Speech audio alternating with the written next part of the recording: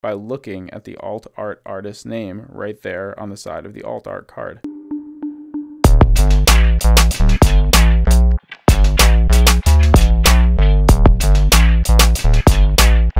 Yo ho sha! What is up, Joe Crew? It is me, Johku DMD, and today I'm going to show you all the alternate arts in the first set of One Piece card game Romance Dawn. All right, so the alternate arts got crazy confusing in this set, and there's actually a certain point where you need to put on some super high power spectacles to understand what's really going on with these alternate arts, but I'll get to that point. In this video, I'm going to show you guys every single card that is an alternate art from this set and how dang shiny and good looking it is, because these cards look crazy. All right, first and foremost, we got this Don. This is the regular art for the Don. It's got the One Piece film red on the back and the regular Don art And then you had a chance at a Luffy Don. So this was the Luffy Don. There's one per box. And the back looks like the regular Don back. Each leader has an alternate art. And I am missing one. I'm missing the Zoro alternate art. I'll have it soon. And I'll do a short to show you guys. Luffy has an alternate art that looks like this. He's got real, real shiny, and I'm pretty sure this one right now is holding the highest value in the set. But these alternate leader arts look amazing. They have this really cool foiling going on around the line work, and they really emphasize type of line work and movement in these images. And this is really nice crops. Look at that crop. That is a nice looking crop.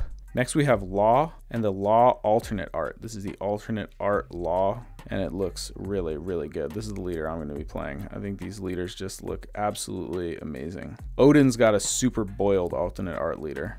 This is the hyper boiled alternate art Odin crop. Look at that crop. What a crop.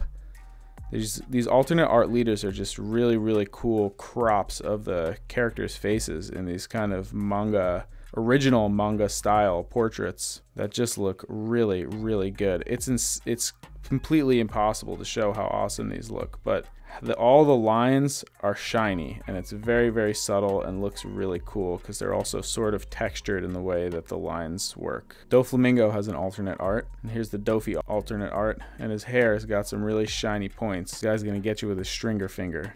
Beware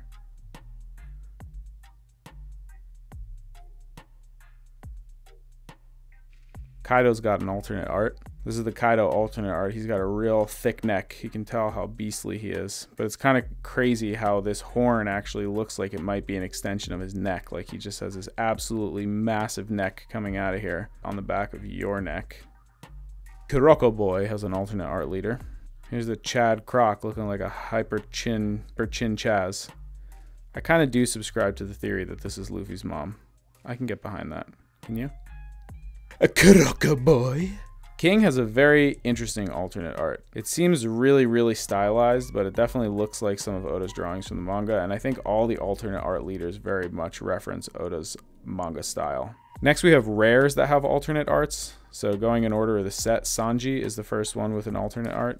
Here's the alternate art Sanji. Looks really, really good. It almost looks like the X's that food gets on a grill. It's just so hot. It's such a hot card. He's got the Diable Jambe fire coming out of his foot. You do not want to mess with a Rady in front of this guy because Sanji love Radies. Nami's got an alternate art, and I would definitely say that Nami's alternate art is my favorite alternate art in the set. It just looks so dang good, and the stippled texture in the background just makes her look like she's got water flying all around her and the beautiful sky, controlling weather at its finest.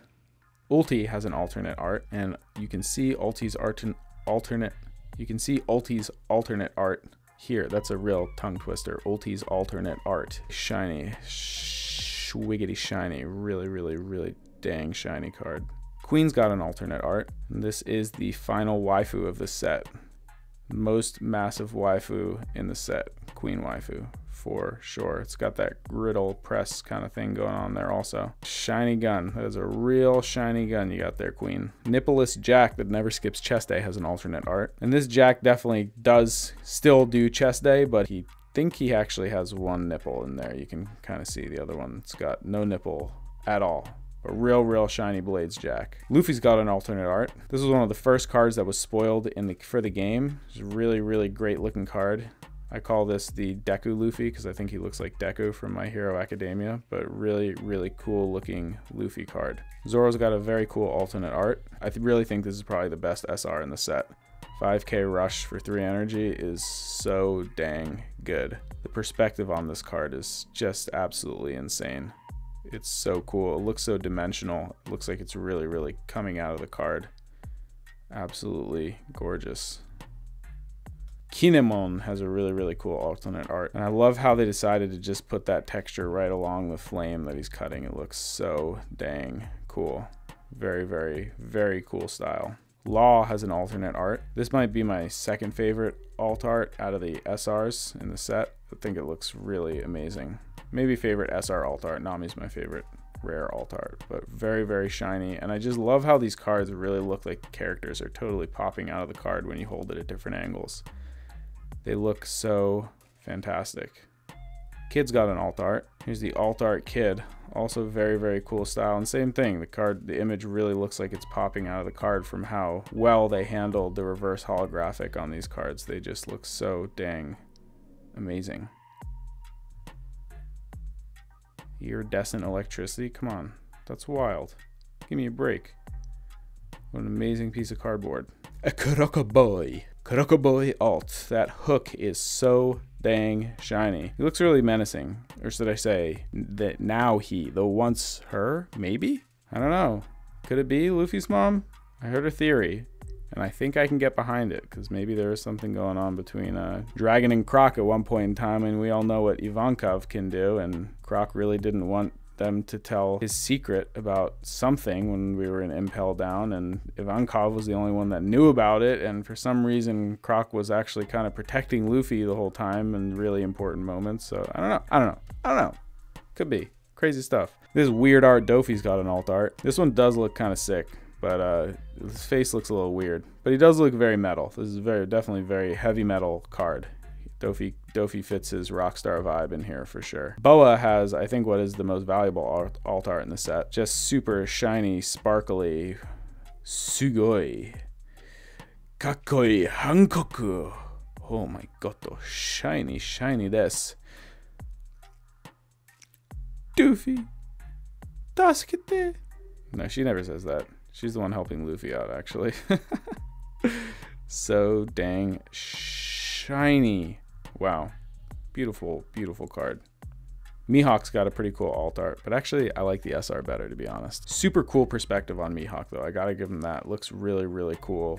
Just the centered character with his foot over his knee off to the side just looks so dang cool. Very, very, very cool card. Kaido's got a pretty crazy alt art. This art is sick. This card just looks so good. It's really hard to see how cool this looks in photos. I mean, we can all do our best, but this texture that's going on and the dragon up here just looks really, really wild. And the reverse holographic on his tattoo on his arm. See how that's like lighting up under there, under his horn, just on his arm? That's so wild. What, a, what an amazingly cool design choice. King has an alt art. Pretty handsome guy. I would say maybe one of the most handsome guys. He's got that handsome haircut thing with a braid in it and his ruffled shirt unbuttoned to the middle of his chest. This card is just screaming handsome. Duval would be a jealous, jealous man if King came up on to his party. Watch. Now, Yamato has a regular art for her secret rare art, and it looks pretty dang fantastic as well. It's got that texture going on here and even stippling texture in the hollow foil next to her and silver lining all throughout the line work. Just looks insanely, insanely good. And that hollow foil on her club, whew, and this is my favorite card ever made in the history of mankind. And what I realized about this card, even though it looks insanely amazing, is the artist that drew the art. You can see the name right there, Barry Verina. So all the alternate arts actually have artist names written right here, which I love that they're doing that and giving credit to the artist. So if you want to go follow this artist and check out more of their work, you can find the alt art artist by looking at the alt art artist name right there on the side of the alt art card. But yeah, this is my favorite card ever. I think this is so completely amazing. I actually pulled two out of one case, which was absolutely wild but best looking trading card in the history of ever, I think, actually.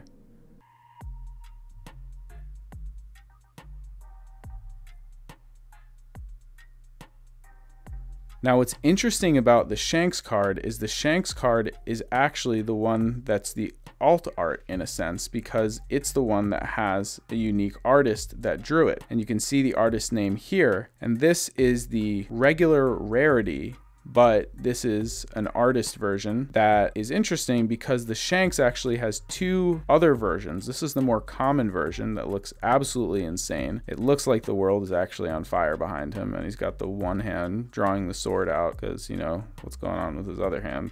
Not there. But it's a very, very, very, very cool, very shiny card.